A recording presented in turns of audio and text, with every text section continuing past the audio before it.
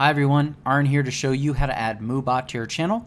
Uh, like we have uh, set up for computer chess here, you can see that a timer has gone off showing people where they can go with a link to get the full computer chess experience. Um, we can also request specific commands, like if I'm a viewer and I want to know what kind of CPU is being used in the computer chess championship. I can type exclamation CPU in chat, hit enter, and if MooBot is nice to us, it will respond with a predetermined uh, response that we can set up for ourselves. So here we go.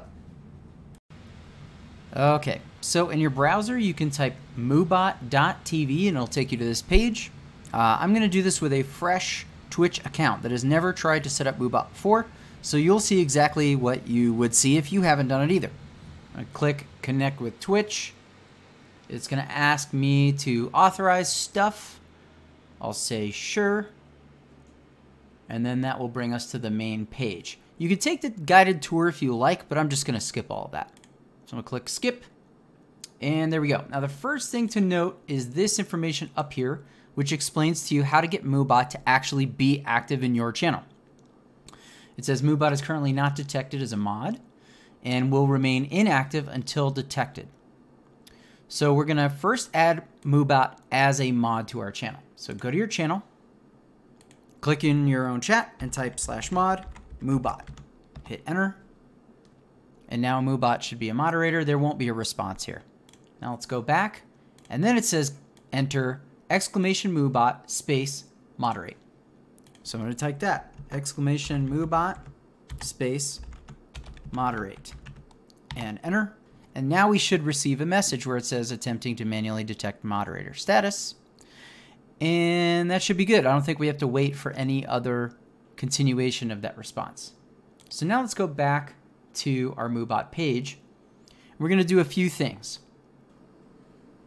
So let's start out by going to the first one here, features. Click that. There's a lot of stuff in here and feel free to explore all of that on your own time, but there are a couple things that I think are worth doing right away. The first one I would recommend is chat subscriber notifications. Get notified in chat when someone subscribes to the channel. Now, obviously, you have to be an affiliate or a partner on Twitch for this to work. Notice how I go to hover to turn it on. It says Twitch subscription program not detected. Initial detection may take up to 40, uh, sorry, 24 hours. So uh, you may have to wait for a while and check back to turn this on and then you can customize the messages. You can actually make multiple messages that rotate whenever someone subscribes so that every subscriber is not seeing the same uh, pre written message. Uh, the other one that you should enable is Twitch stream commands, letting moderators change the stream's title and game right from Twitch chat with exclamation game, exclamation title. They can even trigger commercials if you're a partner definitely turn that on. It's going to ask you to grant some additional privileges. So we'll click sure, and then you're good to go. I think those are the only ones that really matter off the bat. Make sure that go back after that waiting period to enable the uh, notifications in chat when you get new subs.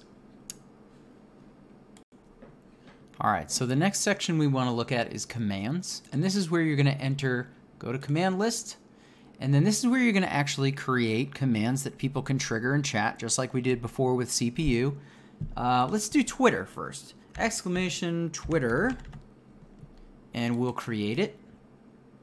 And then it'll take us to the menu where we type in the response that we want for that. So uh, follow me on Twitter at uh, twitter.com slash uh, and then we'll make up a name like that one. Okay. And pretty much that's all you've got to do. Don't worry about the rest of this if you don't want to and you just want a simple response. And there you go.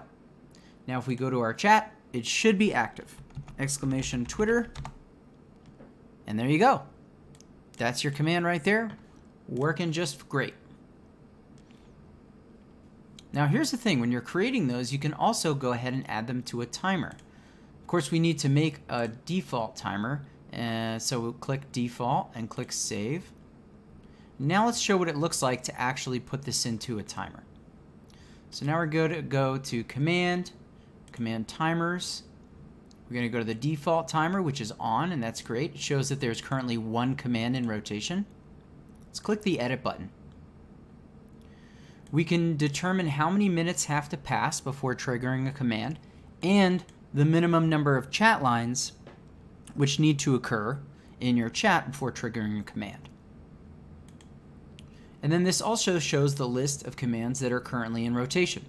You can add commands that you've already added by going here and looking for them. Obviously, there's nothing else in the dropdown because we haven't created any other commands yet.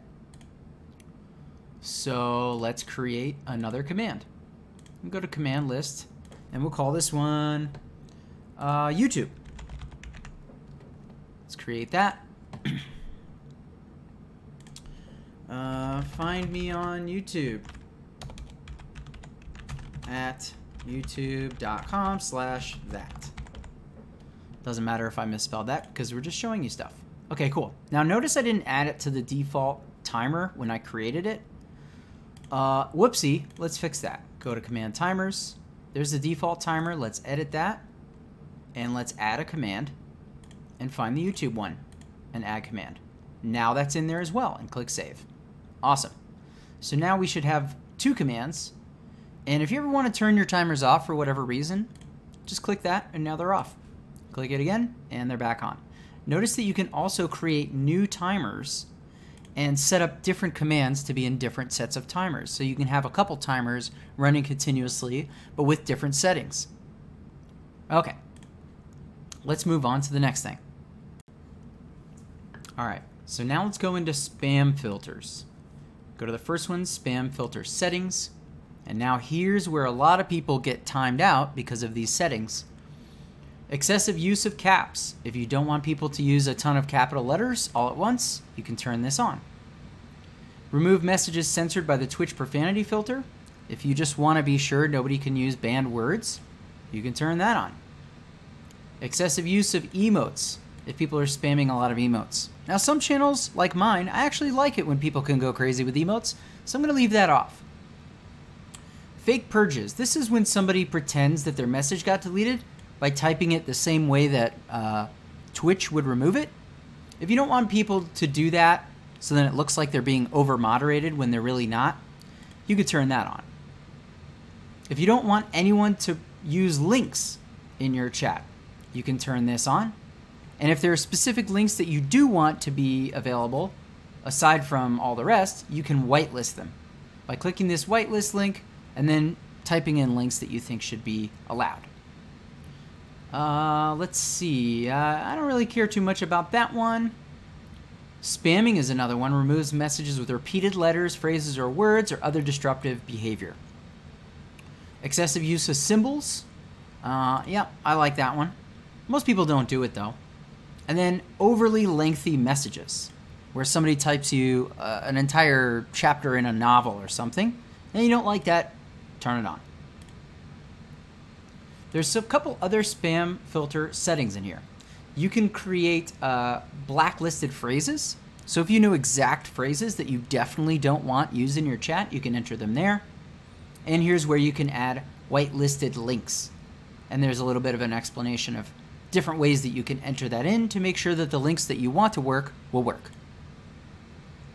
The last feature I want to show you is editors, and this is pretty important. This is where you can add trusted individuals that you would like to have permission to modify your MooBot settings at any point without having to be logged into your Twitch account. So let's add one. I'm going to add myself. And there I go. That's all you have to do. And now, if I'm logged into my Twitch account and I log into MooBot, I can select the ability to go into your dashboard and help adjust your MooBot for you. I can also trigger those commands that we talked about earlier, like if I need to change your stream title. We found that in the features section by going to Twitch stream commands. Moderators and editors will have no problem doing this.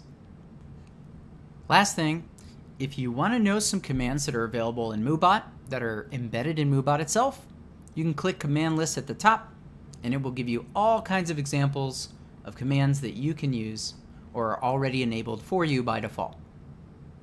All right, everybody. Thanks.